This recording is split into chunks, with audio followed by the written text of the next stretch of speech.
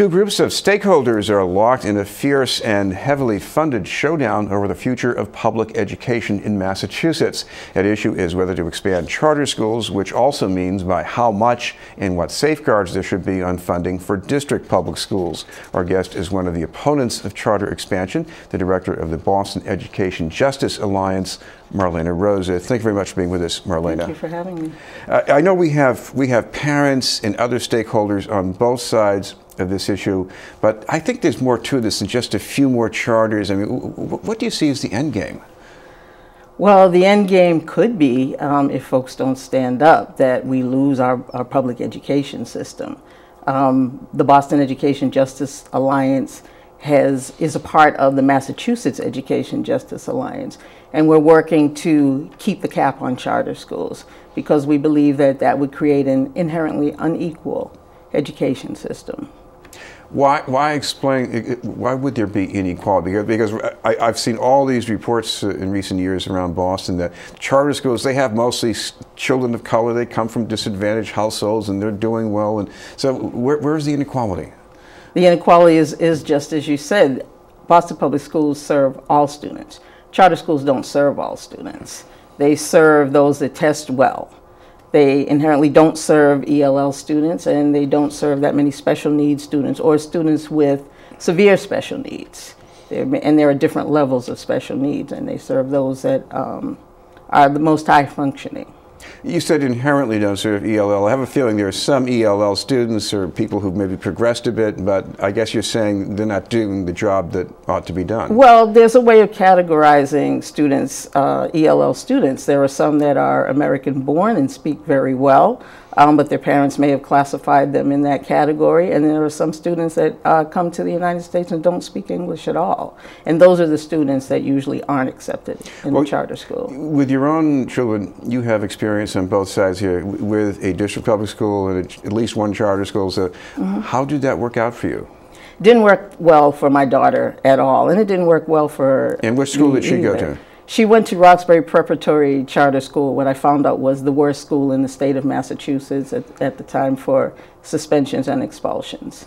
And they have a policy of shaming and blaming students um, and just kind of harassing parents until they decide that they want to leave. So instead of saying um, that they expel students, they just harass you until a parent withdraws or a student quits. Now, now it sounds like if, if a school were that bad, why would anyone want to send their children there? Well, we, we know that the Boston Public Schools need some work. And so what the Boston Education Justice Alliance is doing, right now we're hoping to get more money into the BPS budget so that students are served better.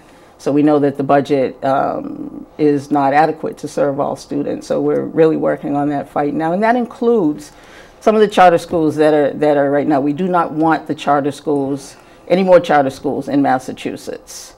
But we know that there are some in-district charter schools. We want all students to be served equally. And that's what we're fighting for. Is there a middle ground in here somewhere? I, I think mainly the position taken by, by Mayor Walsh He's in favor of some kind of a gradual uh, expansion of charter schools, but he also wants to make sure there's more money from the state for Boston in the public school system. Mm -hmm, mm -hmm. There can be no compromise until all charter schools serve all children. That's the bottom line. We want Boston Public Schools are required to serve everyone, and charter schools that are publicly funded with our tax dollars should serve all of our children. You mentioned uh, the discipline strategy at the school that your daughter attended. Uh, uh, is this just one school we're talking about, or is there something that needs to be done systematically about multiple schools? Well, charter schools can discipline in any way that they see fit, and often um, that doesn't work for children of, children of color, um, children who have experienced some type of emotional stress. There was there's a charter school in Dorchester that is being closed that serves many of our children with PTSD or social emotional problems. And that is a charter school that, that's being closed. So, you know, we want all schools to serve all children. What about some of the in-district charters? There's also another school in Dorchester. It's not controlled by the Boston School Department at this point because the state took it over in a kind of underperformance. Uh, I understand a lot of suspensions there, even going into preschool grades. Well, that's, that's one of the issues. Students are suspended and given demerits until they just kind of give up. It's a system of shaming a young person instead of helping them learn and grow. What should be the strategy for parents at this point? Ask questions. Ask questions uh, about how your charter school or public school is governed. Make sure that you get on the parent boards. Make sure that you join the citywide parent council and come to a BEJA meeting. And what, what do you do at the meetings? We talk strategy. We talk about what's happening in the schools. Uh, we talk to parents and provide resources if they're having an issue, either in um, an in-district school or a charter school. Um, we try to provide supports for parents and then help them mobilize around issues that affect all children. So right now it's the budget. Well, one issue I, I do see down the road for Boston, e even if you were to stop charter school expansion cold is that uh, you, you, might have more capacity in the district school buildings than we can fill with students. Uh, what should be done about that? In terms of having more well, capacity? I, I, guess, yeah, because I understand that there are thousands of seats, at least in terms of, of, capacity here, that, that maybe we need to shrink so we don't have to pay for stuff that we're not using. I think we need to work on the budget and the schools and uh, fixing the schools, uh, making sure that the students have adequate teachers, before we even try to address that issue. We need to make the schools that we have work. We should mention if people want to get in touch and find out what's happening, uh, what's the best way to do that? Our website is bostonedjustice.org. Uh, you can go onto our website.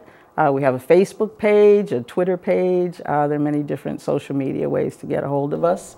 You can call 617 708 4685 as well. Thank you very much for being with us. Thank you. Marlena Rose from the Boston Education Justice Alliance. Thank you. Jill, will tell you what's planned for this year's Puerto Rican Festival, but first, this message.